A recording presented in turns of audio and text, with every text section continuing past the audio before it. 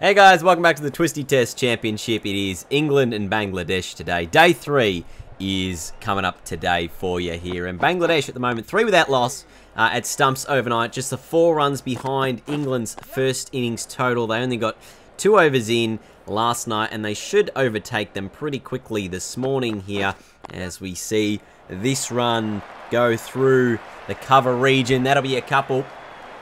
Pick up three here in Bangladesh. We'll take that lead uh, over England right here. So, uh, obviously, massive day of cricket coming up for you guys um, because this is probably one of the most important days in the tournament because from an England perspective, this is a must-win encounter and with catches like that, Joe Denley's impressed. He doesn't even worry about his teammates. He goes off to celebrate with the crowd. Anderson celebrates taking the wicket, but Joe Denley takes a catch. He's off to the races. Everybody's running to the bowler. He's running to the crowd to celebrate the catch. Absolute scenes here at Lords. Uh, Tamim Iqbal, the first wicket to fall for 12. And England, can they turn this game uh, around in a way where they're not chasing a massive total? It's going to be a bit of a challenge for them today to really to, to do that. Um, you know, they'll, they'll have to, you know, maybe restrict Bangladesh to somewhere below 200 to really have a comfortable chase. We know that they, uh, I think, scored about 240 uh, against Ireland in the fourth innings with a 150-odd partnership between Anderson and Broad. So they can't leave too much of the tail as well. Uh, but they obviously would want to get uh, the minimum total uh, required for you know what they want to do in this in this matchup here. But um, Bangladesh, they've got a, a, real good opportunity here today. We know that they're out of the tournament, only having uh, the one draw so far with Ireland to their name. Uh, so a win will not be enough to progress them through to the next round, given this is their last match in the Test Championship. So a lot more riding on the line for England here. There's a bit of a shout. It swung in a long way. Ooh, I, have said not out here. Let's see what uh, England will do. They might send this one upstairs for review because it was a pretty close shout uh, from what it looked like. Pitching in line, impact in line, but it looks like it is going to be missing the stumps by a fraction. So great call by me. Just could see it uh, swinging a lot as Hussain smashes this one through the covers and Bangladesh have very quickly got out to a 53 run lead. They've just pushed through that sort of opening dangerous moments and after that early loss of the wicket Islam's faced 70 deliveries uh, for his 23 Hussain 40 uh, from his 69 balls faced. So Bangladesh now all of a sudden you know uh, let's you know you could say they're one for 79 you could say they're one for I guess 74 is the lead. So um, huge position for them to be in now and this is a really promising start to set up a target that'll it'll make it difficult for England if they bat well enough here. And the boundaries so far have continued to come today. Is that one? Oh, plain a miss. What's that? That's uh, the 30th over. We, uh, we've got one over left in the session. This Bangladesh pushed to 94 for one with another boundary. Couple balls left in this over. And again, another boundary to that, uh, or pretty close to the boundary, to that uh, short, that short uh, Short side. Both uh, square boundaries here. I think a little bit shorter. As you see, Stuart Broad come in here and this one just uh, played away to the cover fielder. That'll be a dot ball and that will take us to lunch on day three. Overcast conditions today, so England will be hoping to swing the ball a bit more after lunch. Uh, 96 for one.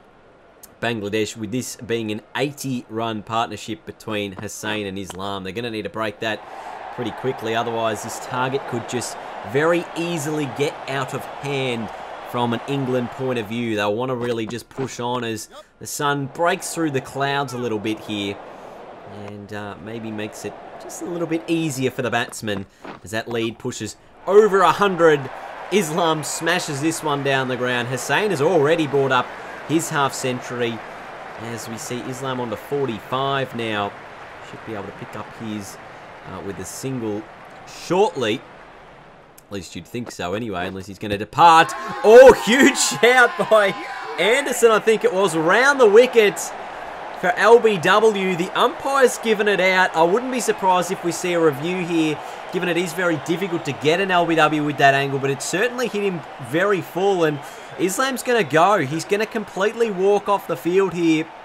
But uh, with that angle across the stumps, it, it's always a tricky one, especially round the wicket. Do you think it's generally going down the onside? So a brave decision by the umpire and it may be a costly decision from Bangladesh to not review it. Um, we don't actually have the ball tracker for that one, but uh, it looked like it probably was going on to hit the stumps, the fact that it was given out. And Bangladesh now 121 for 2. Nazmul Hussain on 54. There's an edge and well taken by Joe Root. So a couple of wickets for England. Maybe just steady the ship for just a fraction of a moment this. This is a really good catch by Joe. Had to get forward and down and across. And he took it nicely, turned well to take the catch. Hussain out. England have three wickets. Bangladesh, their lead, 139 at the moment with that boundary. It's Mominul Haq and Mushfiqur Rahim now trying to once again build another partnership for Bangladesh. And uh, the total is, is continuing to push out there. It's 161 at the moment and still with only three wickets lost. Uh, certainly they're in for you know, a really good, uh, good, good target here that, that's probably going to be defendable from a Bangladesh point of view. As we see Mominul Haq again, he's just raced away almost towards a half century. Moves to 48 with this boundary from just 58 deliveries and now again through the air and another boundary. So he will pick up 50 from 59 balls. Nine boundaries in there as well from Mominul Haq. It has been a very good uh, knock by him as we see a big shout. Was there any bat involved? His Leach is going crazy, but nothing doing according to the umpire. Is that one? Geez, I don't know if that was dropped or it just dropped short on Anderson. It was very close. 193 for three. That'll be the end of the second session of play here. So, huge final session for England coming up. 195 for three Bangladesh. They need to get maybe three or four wickets in this session, England, to get themselves well and truly back in the game.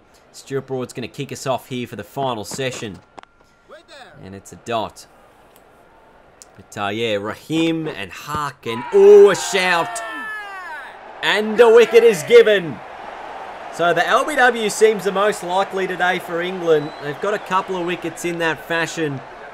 That one, Stuart Broad swinging it in on Mushfiqur Rahim. He's out for 15. Mohammed Mithun now joins Mominul Haq at the crease. But uh, the lead, again with another boundary, just continues to grow. It's pushed over 200 now. Really, that's going to make it psychologically a bit more of a difficult task for England just knowing you've got to chase more than 200 does make it quite a challenge.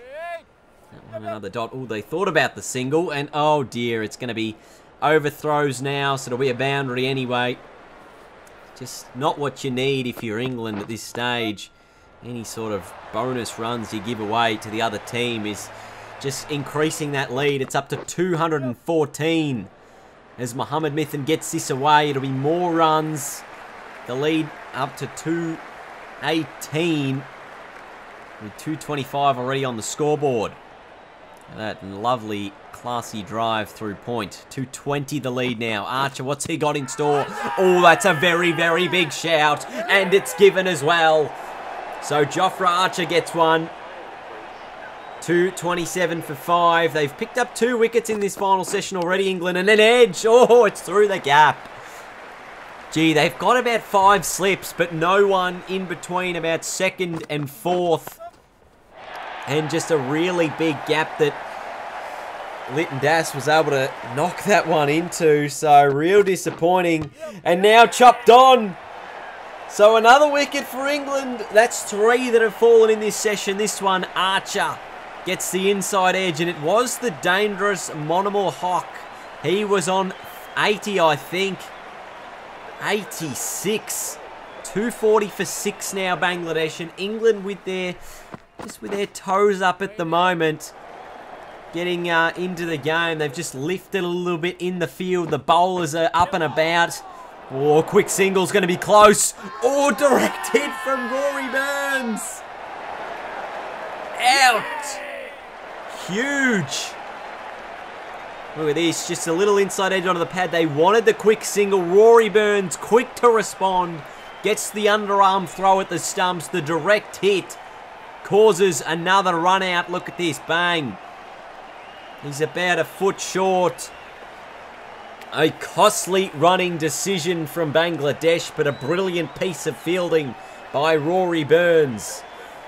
240 for 7. Bangladesh have lost 4 wickets in this session. The lead 233. So it's still not the worst total in the world, but England are starting to get themselves at least uh, in with a chance of, of reducing it because they don't want it to, you know, really go over that 250, 300 mark as there's another edge and a ripping catch is taken here. I think this might have been Joe Denley, the second screamer of the day. Have a look at him there in gully. Yes, I think it was. Diving to his right this time. Last time I think he dove to his left. He's been everywhere in the field today, Joe Denley. Jayed out for two, 242 for eight, and England continue their press and assault. That makes it five wickets for the session so far, and Bangladesh haven't really increased the lead whatsoever. Another tight single that they're going to get. 241 the lead. Edged. Oh, just drops short. So Liton Das, 11 from 36. Hasn't been really able to trouble the scoreboard too much. Hussain likewise. They've just been surviving over after over at the moment. The lead, 249, edged and gone. It will remain at 249. Bangladesh, one wicket in the shed. Jofra Archer this time. Gets it through to Buttler. Ibadat Hussain out for four. Bangladesh 259 for 9. 87 overs have been bowled. Jeez. Just lots happening today. Stuart Broad here to bowl the final over of the day here as uh, Bangladesh 262 for 9. Can England finish the day off on a high or will Bangladesh just maybe get a little bit of a psychological edge being 9 down at stumps. So we see another couple of runs here. Three balls left in the day's play. That one through to the keeper for another dot. So we got uh, two balls remaining here to Hassan Miraz. You'd want to get Liton Das on strike. Geez, a swing and a miss. Liton Das 20 from 64, but he's going to be at the non-strikers end for the final ball of the day's play. Just doing a bit of gardening there. Stuart Broad hoping to get this final wicket. Hassan Raz just needs to see it through. Edged and taken.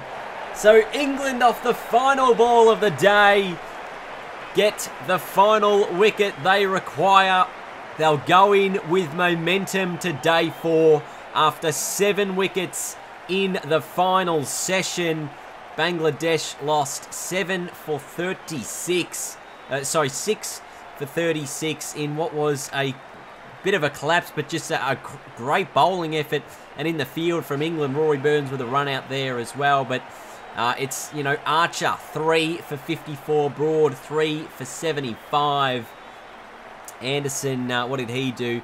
He had 2 for 55. Leach, 1 for 43. Stokes unable to get a wicket, but the run out uh, from Rory Burns there as well. So it sets us up for an exciting fourth day of play. England will be chasing 257 for victory. Bangladesh need 10 wickets to kick off, finish off their TTC campaign. Thanks for watching. I'll see you guys tomorrow.